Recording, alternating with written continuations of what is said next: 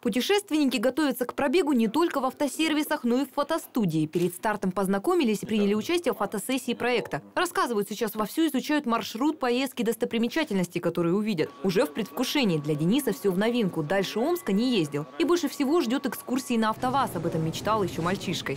У меня были э, Тольяттинский автомобиль 12 модели, поэтому его произвели там. Я считаю, будет интересно посмотреть, может быть, мы попадем на конвейер, я думаю, попадем, где все это производится, и очень интересно. Ну, конечно, такие вещи, как Родина-Мать, то есть Волгоград, это все-таки города боевой славы, то есть это тоже те места, которые хотелось посетить. Многие участники нашего пробега – опытные автопутешественники. Андрей рассказывает, все участки трассы помнит наизусть. Уже не раз ездил на машине на юг. В день легко преодолевал по тысяче километров. В дороге отдыхает. В эту поездку отправится с женой. Она тоже со мной не раз ездила. Опытный штурман. Без навигаторов по картам едем по атласам без проблем.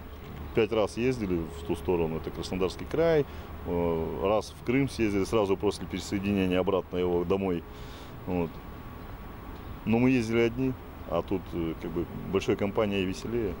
Мы побываем на Урале, в Ростове-на-Дону, в Олимпийском Сочи. Своими глазами увидим скульптуру «Родина-мать» зовет на Мамаевом кургане в Волгограде. Будем возлагать венки к памятникам в местах сражений наших земляков. Во всех городах нашего маршрута нас ждут и подготовили для жителей края насыщенную программу.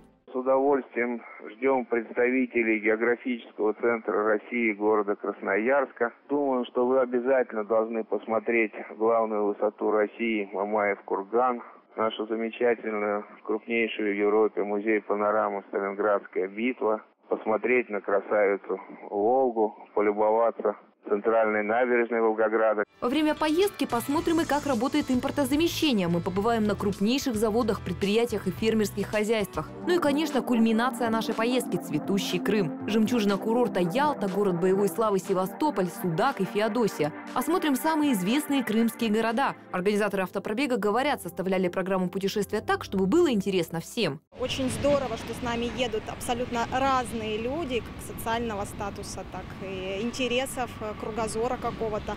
Это и даже разные территории, например, с нами едут э, предприниматели из Большого Улуя, э, едет семейная пара из Красноярска, из Кызыла семейная пара.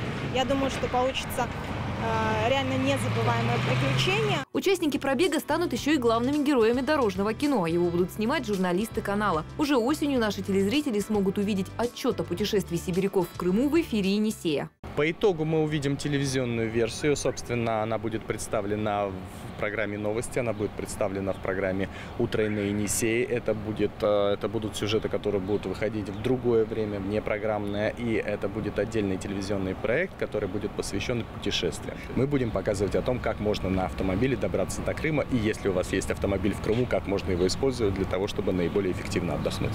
Стартует наша колонна уже 16 августа. Экипажи уже сформированы, но если вы очень хотите присоединиться к нам, звоните, что-нибудь придумаем. Телефон вы сейчас видите на экранах. Ольга Тишинина, Алексей Гусев. Новости.